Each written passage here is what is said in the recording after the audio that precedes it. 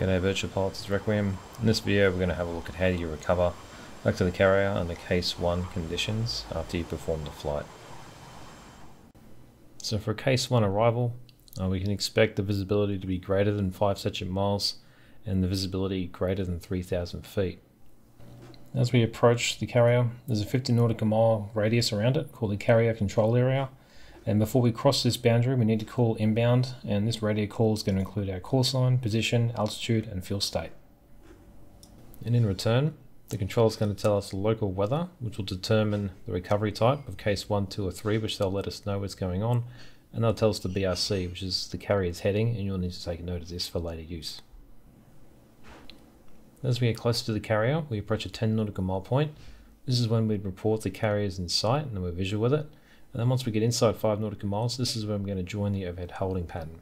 So now we'll go into the cockpit and look at it in more detail. Alright, so we're going to be established here at uh, 350 knots at 20,000 feet.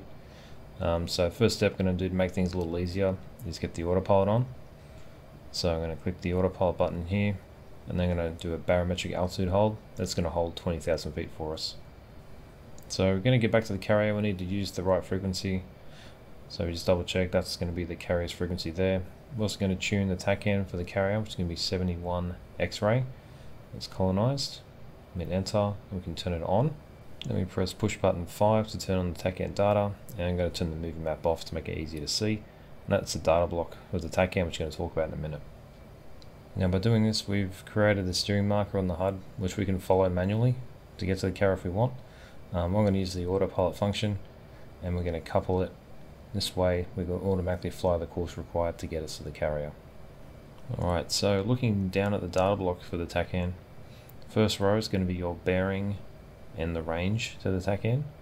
Then you've got the time remaining until you reach it, the three letter identifier, the fuel remaining when you reach the TACAN, and the distance at which you need to begin a descent from the TACAN at 250 knots with 10 degrees nose down pitch and idle thrust. So the scale is currently at 40 miles. So we'll click the push button there to change it down to 10 miles. And we're approaching the carrier control area, so we'll look at how to do the descent flow now.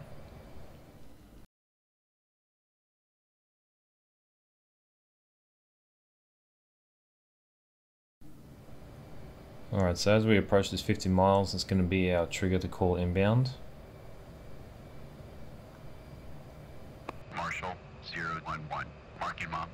Two four five zero Angels 20.5, holding hands with 016, low state 8.4.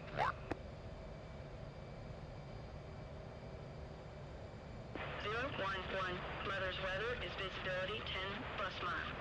Scattered clouds at 8,000. Altimeter is 2-9-9-3. Case 1 recovery expected BRC 353. Report see me at 10. 011. Alright, so hook bypass is going to be in carrier, anti-skid's going to be off, master arm's going to be off, we'll be in the navigation master mode, and left DDI we'll set to the HUD page. Um, COM 1's already set, TACAN's already set, the ILS is channel 11, so we'll turn that on and press push button number 4 there. The right DDI kind of do what you want with it just going to throw it up on the checklist page for now. The altimeter setting was 2993. Set that, put the hook down. Now for the radar altimeter, there's a couple of settings we're going to do. First one is we're going to set the actual radar altimeter 360 feet. And then we're going to use the aircraft data page. And see down the bottom here, your warning altitudes. This is an aural alert. So we'll click the push button for radar then we'll set that to 450 feet. So the 450 feet is an indication you're halfway through your base to final turn. So that's set. And the 360 feet is used for the actual chiming when you're rolling out on final. Now anti-ices aren't required, defog to high, and the windshield is not required either.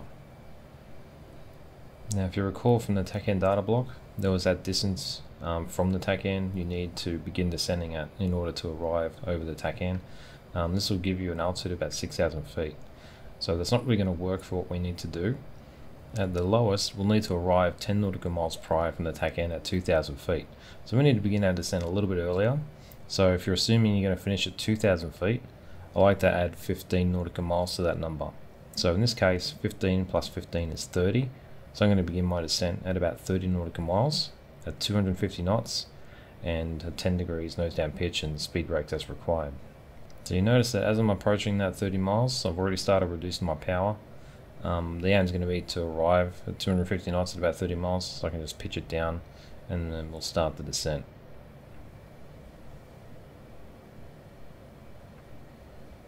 So right now we're still coupled with the TACAN in terms of altitude and the course. So we're going to turn the autopilot off and we're going to push the nose over. We'll be at idle thrust. Get yourself down to 10 degrees, nose down, and use the speed brake as required. Now, the amount of speed brake you're going to need is going to be dependent on you know what you've got on the airframe. Uh, you might be more draggy in some configurations compared to others, so you may have to retract and extend the speed brake a little bit um, just to ensure that you're going to maintain that 250 knots during the descent. So as long as we maintain this profile, we're not going to have any problems um, attaining our goal of being 2,000 feet above the ground, more than 10 nautical miles away from the carrier. However, if you want to make sure that uh, you are on track to meet this requirement, then we can have a look at the TACAN data block to verify it. So looking down here, we're going to look at the range from the TACAN, and then we'll compare it to the distance required until we need to start descending. And as long as that value is greater than 15 nautical miles, then you're going to be on target to meet that 2,000 feet at 10 miles from the carrier. So now I'm going to speed up time until we get to the next point of the descent to talk about. Alright, we're coming up on 8,000 feet on profile and our descent and have the carrier in sight up ahead. So we don't really need to have the steering marker up anymore if you don't want.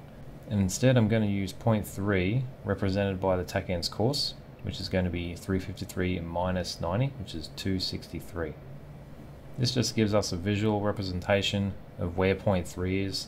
You can of course look out left of the carrier if that's what you would like to do. It's just an optional step that can help increase your situational awareness just a little bit. Now if you recall from the aircraft data page, we had the radar warning altitudes of 5,000 feet and 450. So as we cross each of these altitudes, we get an aural alert. Altitude. Altitude. In this case, for 5,000 feet, it's our cue to switch the alt switch to radar, so that's displayed on the HUD.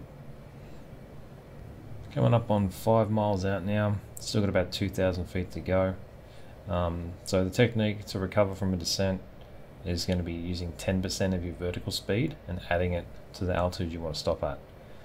So we want to stop at 2,000 feet, and we're doing about 4,000 feet a minute. So we're going to initiate our recovery at 2,400 feet. So we start bringing the nose up, adding the power back in. Just timing it so we'll finish it off at 250 knots, 2000 feet. And to make things easier, we can engage the automatic throttle control and then use the altitude hold again for the autopilot. So now we'll look at how to enter the hold. Okay, so as you're approaching here, we're going to be doing this hold within 5 nautical miles of the carrier, and we're established at 2000 feet AGL, and with multiple flights in a hold, they're going to be staggered by 1,000 feet, and you want your altitude established by 10 DME. There's four points around the carrier. The first one here at the 9 o'clock position from the carrier is called point 3. This will be 5 DME maximum. And as you continue coming down through point 3, we'll hit point 4. And if you're flying a perfect circle, this point's going to be at around 3.5 DME, but as long as you stay within 5 miles, you're fine. And continuing through towards the carrier, you're going to fly just overhead the carrier. This would be point number one. And then between point one and point three on the upwind side, this is where you would initiate any climbs if you needed to do so. Then continuing from point one towards point two, and again, if you're flying a perfect circle, point two will be about three and a half DME as well. Now, if you're flying in the hold with multiple aircraft, you're going to sequence your flying for the best efficiency which means that two flights will be 180 degrees apart, three flights at 120 degrees, and four flights will be 90 degrees apart. Now as we approach 10 nautical miles, um, we need to bring up the communications menu and we'll tell the carrier that we can see them at 10 miles. 011. See you at 10. Update switch tower. 011, state 8.0. Now in order to make the turn that we need to, in order to be inside the 5 miles from the carrier, we need to lead the turn a little bit. So looking at our ground speed, it's 280 knots. So we'll take 1% of that and we'll add it onto the 5 nautical miles to give us 7.8 nautical miles. And this is going to be the earliest distance at which you're going to initiate your turn. So the cool thing is we have the automatic throttle control on maintaining our speed and the autopilot maintaining our altitude. So all we need to do is bank the airplane. So there's our 7.8 miles. We just bank the airplane to whatever bank angle you want. Anywhere up to 30 degrees will work just fine. Now the heading you want to finish on is going to be about 90 degrees off point 3. So in this case 263 minus 90 is going to be heading of uh, 173. So we keep this turn coming and then once we reach heading of uh, 173 we just level the airplane off and we'll maintain the heading until we cross the course that indicates point 3. So we come up on 173, bring the airplane level and as we approach 5 miles the pilot's going to do his next check-in. Tower 011, overhead Angels 2, holding hands with 016, low state 7.7. So we're definitely inside 5 miles and we're coming up on the course line here for point 3. Now if you didn't have this course line on, uh, you would have to rely on the TACAN bearing pointer. So once that passes your 9 o'clock position, you'll initiate a turn towards the carrier and this is just going to be a basic turns around a point. So on downwinds with a high ground speed you're going to need more bank angle and on upwinds at lower ground speeds you need lower bank angle. So right now our weight is 36,500 pounds. This is 3,500 pounds above our unrestricted landing weight. So we subtract 3,500 pounds from our current fuel and set it for a bingo, which in this case is going to be about 6,000 pounds. And we're going to use the fuel dump switch. By setting the bingo, um, when we use the fuel dump switch, we don't have to monitor um, our fuel state because once bingo is reached, it's going to chime us with the caution and the fuel dump switch is automatically going to turn off. This is a pretty handy feature to have you need to get down to your landing weight. The maximum landing weight on the Hornet is going to be 34,000 pounds, um, but that comes with some restrictions, so it's easier just to get it below 33,000 pounds and not have to worry about all that other stuff. As we continue the turn, remember that we're on the downwind side between points 3 and 1. Uh, this means that we'd be initiating any descents if we had to around here. And then once we get on the upwind side, that's when we would initiate any climbs if we had to accommodate any aircraft coming in underneath us. And speaking of aircraft underneath us, there's that flight of four F-18s that are landing ahead of us. So when you're making this turn around the carrier, um, you do need to adjust it a little bit. It's never going to be a perfect circle. You're going to be making adjustments to your flight path to you know change your time of flight because um, your ideal scenario is arriving before point three with the Charlie signal, which lets them know that um, you're cleared to come in and land. Although in the majority of Case 1 operations in real life, um, there's not really much radio communication done. The pilots are able to do it on their own, just watching and timing it themselves. So we've passed over point 1 past the carrier, and uh, we're heading towards point 2. And remember this is the area on the upwind side when we can initiate any climbs if we needed to accommodate aircraft coming in underneath us. And since we're at 2,000 feet, this is the lowest point in the holding pattern.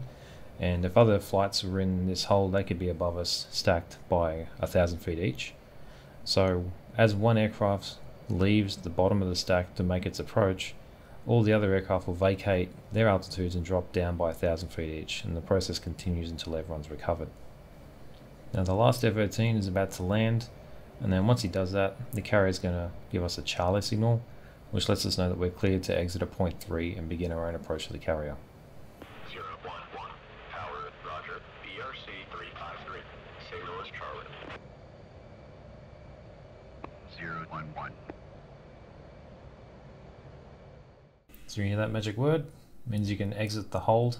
So as you fly to point 3, um, use a heading that's 210 degrees off relative to BRC. So in this case, the BRC was 353, so our heading outbound is going to be 203. Then you'll initiate a descent, getting down to 800 feet, 350 knots, and you want to stay within 10 nautical miles DME of the carrier.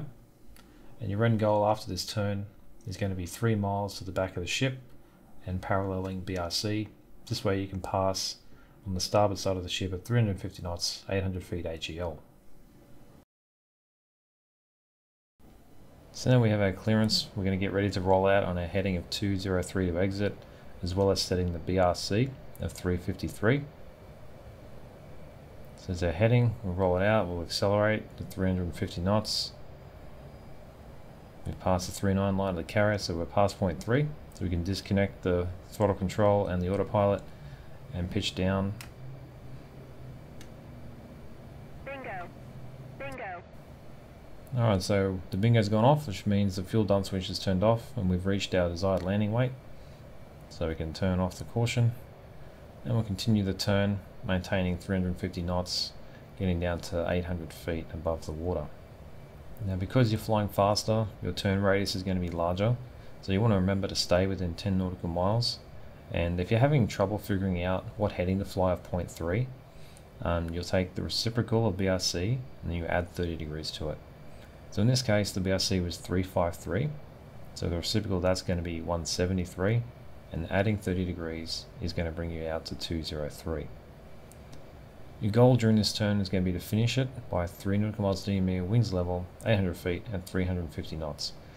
So during this turn you're pretty much you know, looking and checking at the carrier throughout it you want to end up on the uh, starboard side of the ship paralleling that BRC.